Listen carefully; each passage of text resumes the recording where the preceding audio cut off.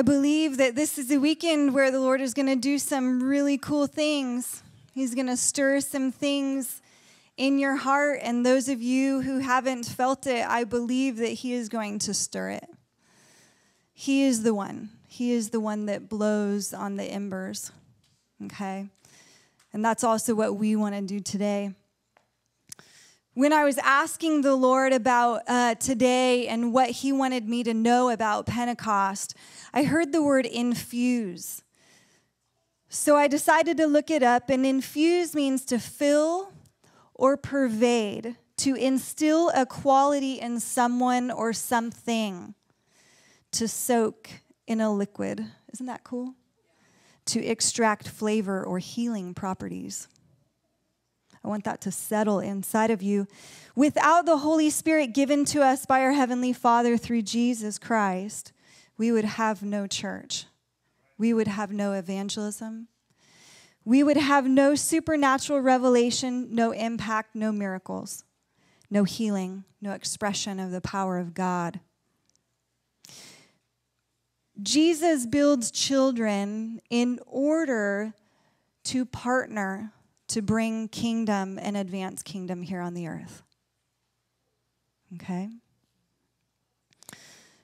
My husband and I, we own a business locally, and our, we have three children. Right now, they're 18, 16, and 13. And although my husband and I own the business, our kids get to benefit from the business. But I cannot imagine handing that business over to them right now because they don't have the heart for our clients that we have. They may run the business into the ground rather than actually moving the business forward. But our kids right now receive the benefit of the business. They receive the benefit of our business. They live in a home, they eat food, pretty good food. Unless I don't cook, then it's not so good. Uh, even when I do cook, it's not always that good, but they still receive the benefit. They are beneficiaries of the business. There will come a day when it would be great. We would love to pass our business on to our kids. But there are some things that are going to need to happen before we can do that. They are going to need to be infused with the same values, the same heart, the same strength, the same endurance as we have for our clients. Our children are going to need to be infused with that same thing that we carry for our clients. Because until that happens, they actually can't move our business forward in the way that we desire for our business to move forward. Our children receive the benefit. It is part of their inheritance right now. But they do not have the ability to participate in our business. I want you to think about that. In the Old Testament, there were two different things there was an inheritance, and an inheritance was doled out to every child but the birthright blessing was doled out to the firstborn. And the birthright blessing was a passing on to the Father's kingdom, of the Father's kingdom, of the Father's business. It happened, David and Solomon passed it on. That was a birthright blessing that was poured out to the firstborn.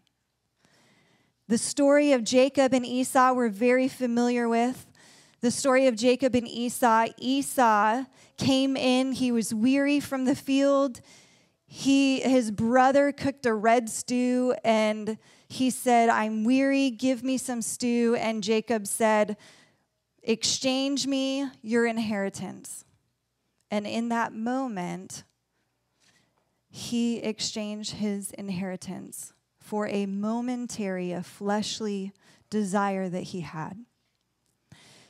And we know that it goes on, and he also exchanged not only his inheritance, but later he exchanged his birthright blessing. Fast forward to Matthew chapter 4 and the temptation of Jesus. After he fasted in the wilderness for 40 days, the tempter came to him and began to speak an exchange for Jesus. And in that exchange, I know I've heard a lot of different stories about that passage and the temptation of Jesus and the different temptations that Satan came to him with. But ultimately, ultimately, what was happening in that moment was Satan was trying to have him exchange his birthright blessing for a momentary satisfaction of the flesh. But what did Jesus do? After it happened three times, the last time the devil took him to a high mountain, he showed him all the kingdoms of the world and their glory. And he said to him, All these things I will give you if you will fall down and worship me. Pretty powerful. Side note that that phrase fall down and worship me it wasn't just a bow down. Satan, in that moment, wanted the presence of who he was to have Jesus fall down before him. Like when the glory of the Lord is so strong that not even the priests could stand in order to minister. All they could do was fall down. That was what Satan wanted from Jesus. And so he was introducing this exchange to happen.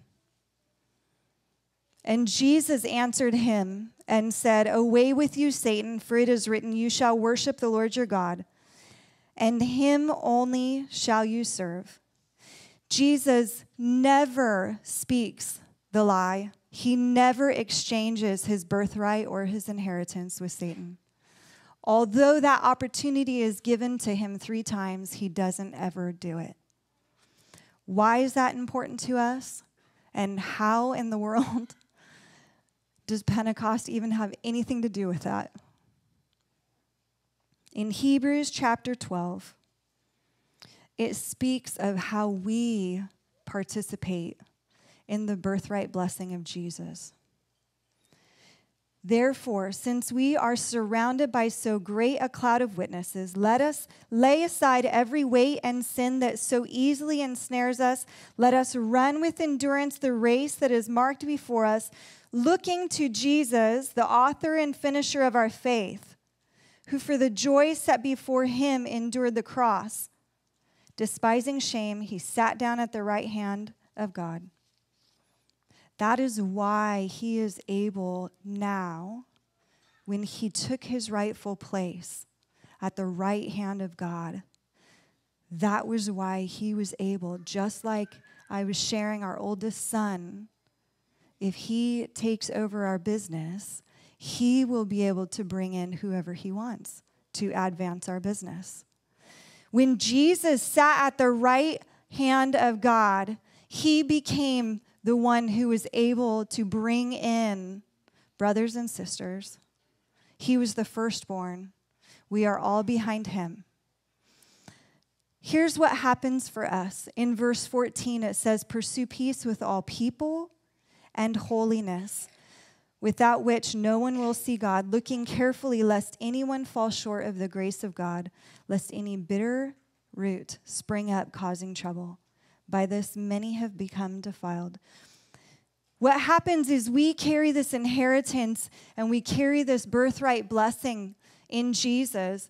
But when things like bitterness or peace or holiness, when Satan comes and tries to have us exchange those things, we choose bitterness and we let go and we release that inheritance and that birthright blessing.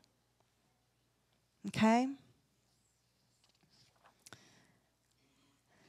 The inheritance for us is salvation, it's doled out to each one.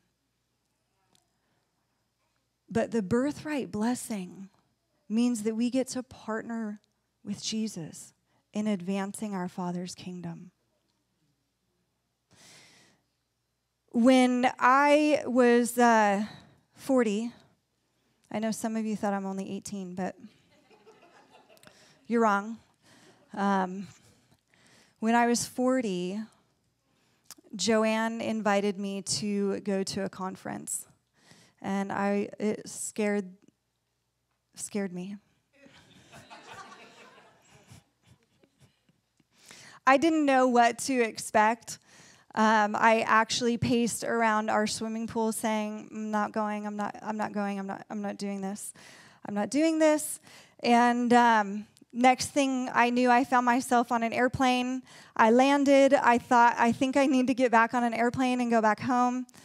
Um, I went to the first day. I walked in a room. The people were really weird. And I thought, these are not my people. Uh, I have no idea what closets these people came out of. I, I don't know why I'm here. I went back, I spent some time with the Lord. Um, I asked him if I could go home. I was pretty sure he said no. And so I went to day two and day three. And on day three, I was standing there, and the speaker was asking the Lord to move on new leaders who had never experienced the Holy Spirit before. And I felt like he was speaking a different language because I knew that I had the Holy Spirit inside of me, but he was kind of a silent partner um, in me. And those of you who are married, do you know that silent partners in marriage, it just doesn't work? Um, and so the Holy Spirit had been a silent partner for many years, for about 40. And um, apparently, year 40, he felt like he needed to move. What happened was I was standing back in the back and my legs began to shake, and I told them to stop, and they wouldn't stop shaking. So I looked to Joe and I looked to my other friend, Michelle, and I said, why, why, what, what is happening with my legs? Why are my legs shaking? I can't stop them. And they got really strangely excited and they said, You need to go up there. Do you hear what he's saying? He's saying that the Lord is bringing new leaders in this movement that the Holy Spirit is going to fall on people who've never experienced Him before. They didn't say all that, but they said, You need to get up there. So I, with my shaking, strange legs, walked all the way up front, and I was about 15 feet from the stage. I had no idea what to expect. I just knew everyone in the room except for me was really weird.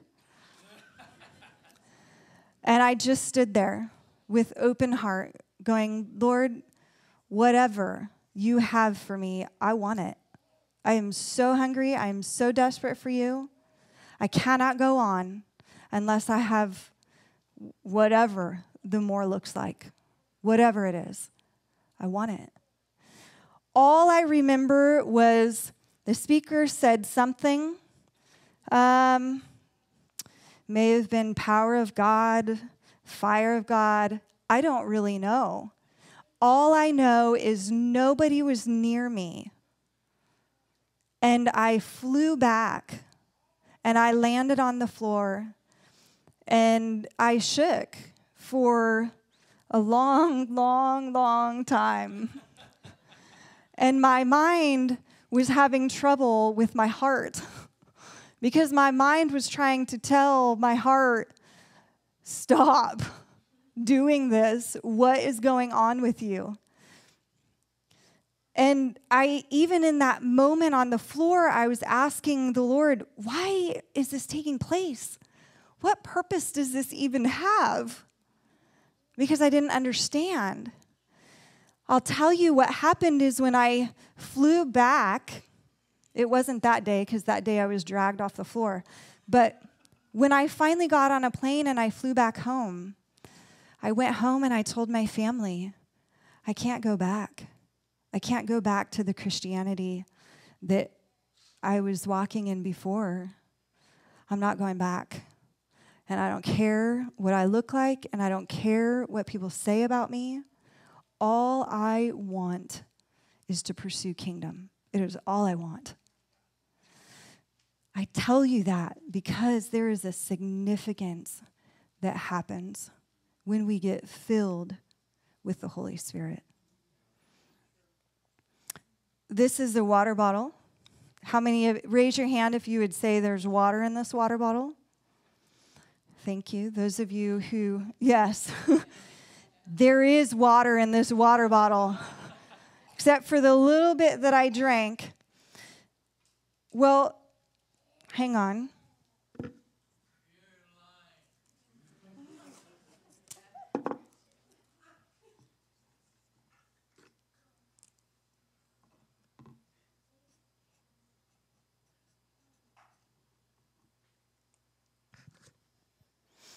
I just wrote tea on a label.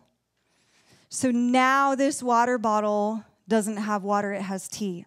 How many of you believe me that this actually has tea in it now? Raise your hand if you believe.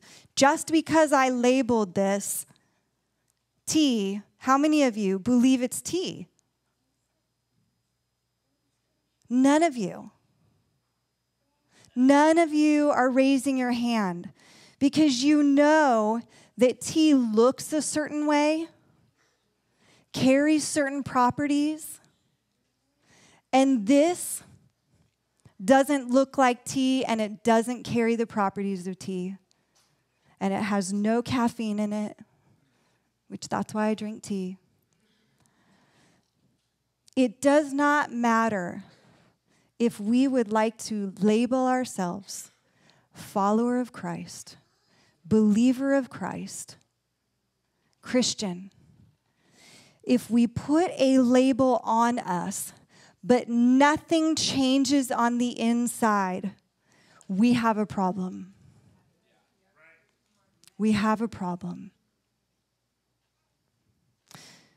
What happened was the disciples on Pentecost, something was infused to them so that they would resemble Jesus, so that they would have the power and the strength and the authority that Jesus had, and only Jesus can give it. I'm going to invite Amanda, if she's still here, and Aaron up.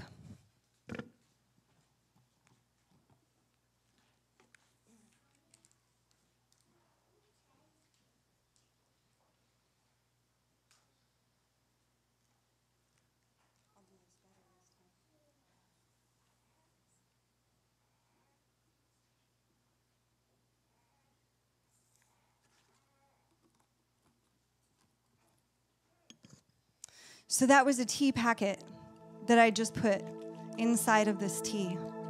And much like Jesus, he likes to shake us a little bit. If I were to tell you now that this is tea and it has and carries the property of tea, how many of you would believe me? I want you to stand. What happened on Pentecost? What happened that day, what happened for me on my 40th birthday, and I understand the significance of 40. It's not lost on me. Every way that he needed his people who call them children, who say, I am a follower of Jesus. On the day of Pentecost, he filled them with what they did not carry. We live in a town of hungry people who are desperate to not encounter a label, a title that we've put on ourselves. They don't need that. They already see that. The world already has that. We live in a region, we live in a nation, we live in a world. People are desperate. They're desperate for the real. They're desperate that those who call themselves Jesus lovers, Jesus followers, would actually have something in them that looks like Jesus. that when they encounter us, that they would encounter the real deal.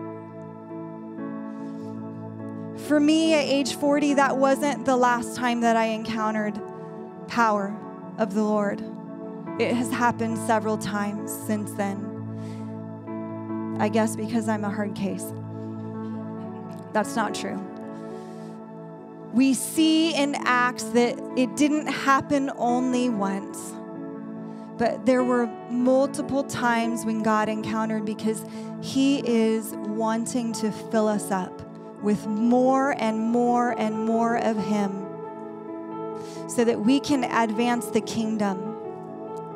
I'm going to ask our team, our agape team, to come up if you are able, but also the ministry team here. We are going to pray that the Lord would begin to move in a mighty way. And if you are hungry for more of Him, and if you, like me, start to feel the weird shaking in your legs and you do not know what it is about, I want to invite you to come up. So, Father God, right now, Pentecost weekend, we celebrate you and we celebrate what you did on that weekend, how you infused your spirit into everyone in that room. And they were forever changed. No more fear of man. No more fear of any religious culture. No more fear of walking in power and authority. Holy Spirit pray that you would move in this place. That your spirit, like a rushing wind, would come in and would stir up our hearts. Fan into flame, fan into flame, God, fan into flame.